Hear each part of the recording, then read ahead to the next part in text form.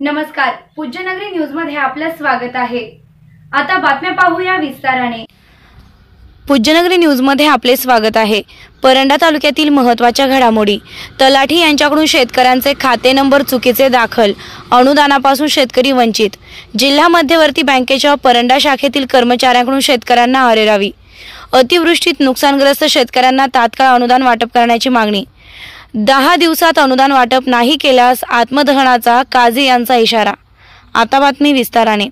नियमित कर्जफेड करणाऱ्या शेतकऱ्यांना शासनानं महात्मा फुले प्रोत्साहनपर पन्नास हजारांचं अनुदान जाहीर केलंय. मात्र तलाठी यांनी बँकेला चुकीचे खाते नंबर दिल्यानं अनेक शेतकऱ्यांना अनुदान मिळाले नाही. तसेच अतिवृष्टीत नुकसान झालेल्या शेतकऱ्यांना देखील अद्याप अनुदान मिळालं नसल्याने शेतकरी लाभापासून वंचित असून त्यांच्यावर उपासमारीची वेळ आली आहे. दिनांक दहा डिसेंबरपर्यंत दोन्ही अनुदान वाटप करावे अन्यथा दिनांक अकरा डिसेंबर रोजी तहसील कार्यालयासमोर आत्मदहन करू असा इशारा शेतकरी सादात अली काझी यांनी दिला आहे. दिनांक तीस नोव्हेंबर रोजी तहसीलदार यांना दिलेल्या निवेदनात म्हटलं आहे की तलाठी यांनी शेतकऱ्यांचे खाते नंबर चुकीचे दिल्यानं अनेक शेतकरी लाभापासून वंचित आहेत. तसेच उस्मानाबाद जिल्हा मध्यवर्ती बँकेच्या परंडा शाखेत अनुदान विषयी चौकशी केली असता बँकेच्या कर्मचाऱ्यांकडून शेतकऱ्यांना अरेरावी करण्यात येत आहे. तसेच कात्राबाद गाव कोणत्या बँकेनं दत्तक घेतलं आहे याची सर्वच बँकेत चौकशी केली असता कात्राबाद गाव आमच्याकडे दत्तक नाही असं सांगितलं जात आहे. कात्राबाद गाव एसबीआय किंवा महाराष्ट्र ग्रामीण बँकेला जोडावे व अतिवृष्टीचं सरसकट अनुदान दहा डिसेंबर पर्यंत वाटप करावे. अन्यथा अकरा डिसेंबर रोजी परंडा तहसील कार्यालयासमोर आत्मदहन करू. यास प्रशासन जबाबदार राहील असा इशारा सादात अली काझी यांनी दिला आहे. यावेळी बळीराजा शेतकरी संघटनेचे संपर्क प्रमुख रमेश गणगे महिला प्रदेश अध्यक्षा रत्नमाला निकाळजे रामा भोसले आदी उपस्थित होते. पहा काय म्हणाले सादात अली काझी. मी सादात अली महबूब अली राहणार परंडा शेतकरी.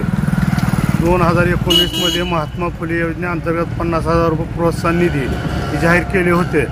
परंतु शासनाने अद्यापपर्यंत तुरळक खातेदाराला निधी वाटप करण्याला आहेत. काही शेतकऱ्याचे खाते नंबर बँकेने जिल्हा मध्यवर्ती बँकेने चुकल्यामुळं शेतकरी वंचित राहत आहे.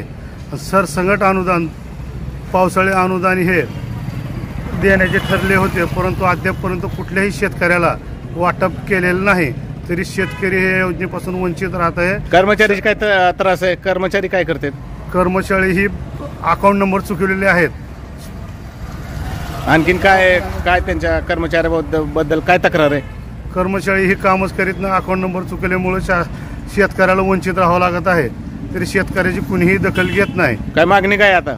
हे वरील जी मी सांगितलेली ही मागणी पूर्ण न झाल्यास मी दिनांक एकवी दहा अक बारा दोन हजार बावीसपर्यंत जर पूर्ण नाही झाल्यास तर मी अकरा बारा दोन हजार बावीस रोजी परांडा तहसीलसमोर आत्मदहन करणार आहे. याची सर्वस्वी जबाबदारी शासनावर राहील.